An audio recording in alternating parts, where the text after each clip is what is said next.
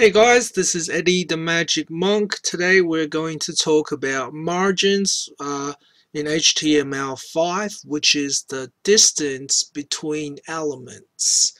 So you can see here I have two elements, two div blocks, and each block has a height of 200 pixels and a width of 200 pixels.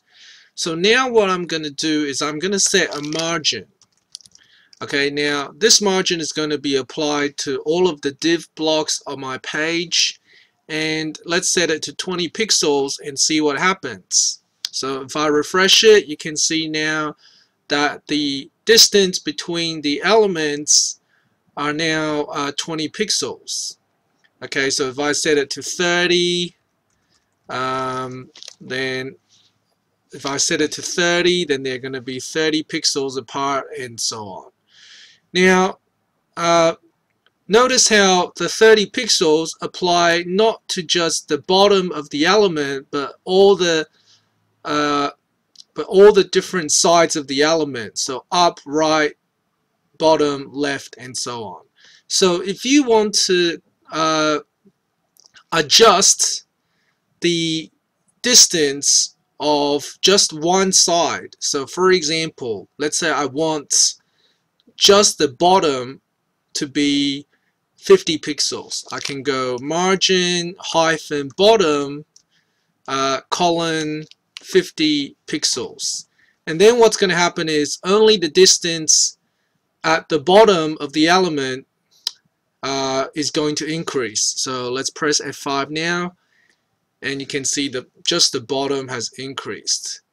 Okay, so uh, that's basically uh, margins. Now you can see here um, my first block is 30 pixels from the left.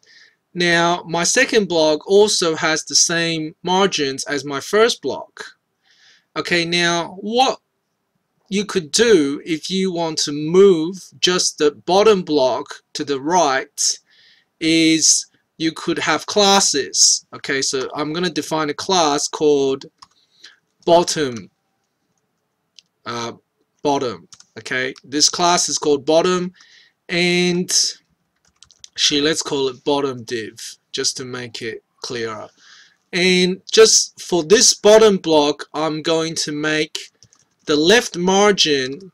I'm going to increase it to 100 pixels okay and then in my second block where I uh, where I declared this is the second this is the second paragraph I'm gonna put inside the div tag I'm gonna put class equals bottom div.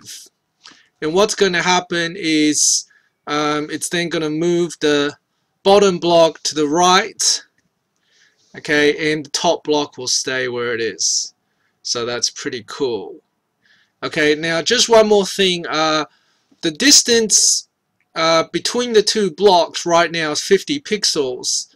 So even though the margin bottom of the top block is 50 pixels and the top margin for the bottom block is 30 pixels, the distance will just be 50 okay it won't be 50 plus 30 it'll just be 50 between the two elements. Okay thanks for watching guys. See you next time